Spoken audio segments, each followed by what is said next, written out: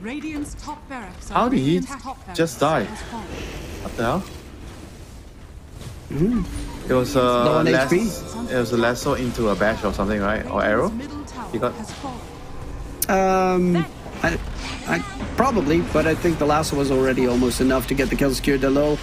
Tiny, they're trying to make a play to keep them at bay, but it's just easy pickings all over the place. Lasso from the Rubik does not really result in much, and the GG has been called. It's Army Geniuses taking the series two to null.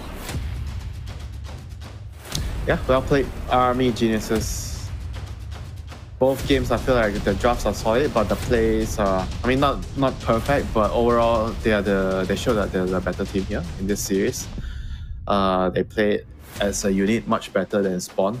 Like Spawn is a bit too disorient, disorientated.